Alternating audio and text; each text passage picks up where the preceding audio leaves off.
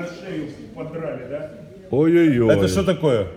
Ну, душили, они же меня пытались постричь, понимаешь? Сьогодні чи коли? Но сегодня, почему мы задержались? А ну давай по порядку. Какой пок- принимает, даже не смотрит. Кого принимает? Секунду, Руслан. На лице это что под правым глазом? Сегодня утром пришел начальник... Сьогодні 6 грудня. 6, 6 грудня сьогодні. 6 День, День української армії. украинской армии, и, похоже, еще и псов, мать усадили. Пришел начальник 35-й колонии по надпочему. Увидел меня в таком виде, а меня вчера в баню почему-то забыли сводить. И он дал приказ своим псам меня побрить и постричь. Я сказал, ну извините, сейчас за мной приедет конвой. В баню вы меня хотите запереть, а потом в холодный воронок. Я сто пудов заболею. Ну меня ж никто не слышит. Он сказал, мне дали приказ и все, я супер военный. Ну и начало меня 10 человек крутить, вертеть, само собой, я начал сопротивляться. Вот в результате вы видите. Так, давай по порядку все. Поближе. Подними сюда ногу. Это что? Ну били меня по ногам Чем? своими бутсами и палками. Вторую ногу. Серйозно били. Где еще телесная? Шею Вот что у них получилось. Шею, Шею шею. показывай. Это что такое на шее? Ну они полотенце, завязали полотенце мне, держали голову, чтобы я не дергался. Они, Щоб вибрати, щоб вибрати голову. да, А для чого ж вибривати? Там же, там же і так вот и я говорю, 3, у мілі, меня 3 волос. міліметра. У меня чуть-чуть волоса, зачем меня брить? Я об этом вам говорил и раньше, помните, что чуть-чуть волоса, они заставляют меня брить. Зачем брить? Чий, чий це наказ був? Скажіть, будь ласка, ще раз. Матиуса, конечно, Матиуса и Пиховского. Пиховский, я на Пиховского написал заявление, что он коррупционер и крыса, который у меня и у моих бойцов украл личных вещей больше, чем на 100 тысяч.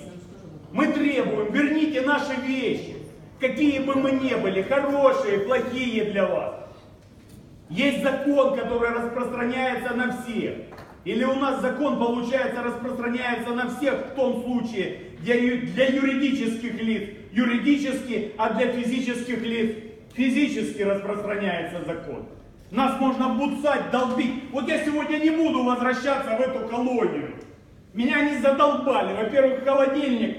Меня, я неделю не ем.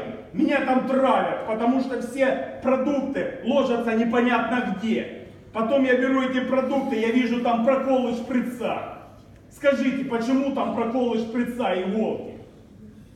Что туда загоняют? А потом у меня поджелудочная, я неделю в эту не ем ничего, плюю и лежу, у меня поджелудочная вылазит.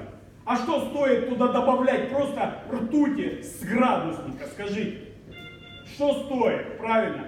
Или еще какого-нибудь тяжелой воды из Чернобыля, привезли баночку и по капельке добавляй мне в молочку. А потом я сдыхаю неделями лежу. Я прошу, у меня есть маленький холодильник, поставьте мне маленький холодильник в камере. У меня там инсулин, у меня там глюкоза лежит. Они должны лежать всегда под рукой, всегда в холодильнике. Что я требую не так? Маленький холодильник, он 50 сантиметров. Но опять же, этот начальник по наточии выполняет все приказы Матиуса и Пеховского. Ему наплевать на меня, потому что я для него просто мясо. Потому что у него есть хозяева, Матиус, который военный прокурор, который на Брабусе ездит бронированно. Вот такие вот дела. И сегодня я возвращаться, пусть меня тянут силой, я возвращаться в ту колонию не буду. Ви там незаконно, почнемо з того, що ви там незаконно знаходитесь. Ну, От. Але, але, але ж ви бачите, що сьогодні е, так, уповноваженого з прав людини немає. Денисова щось там падає в обморок на СІТВ, Да. але, але тут її немає. По, Її по справі. Да. по справі вона не втручається абсолютно. Значить, ну, ніякої своєї лінії не показує. Судді просто узурпували і думають, що вони вже все назавжди. Значить, а нас вони зараз просто хочуть виключити з процесу. Конечно. На мене вже дві скарги. Я зараз їх покажу, ознайомлю і е, запропоную вам дати пояснення щодо цього.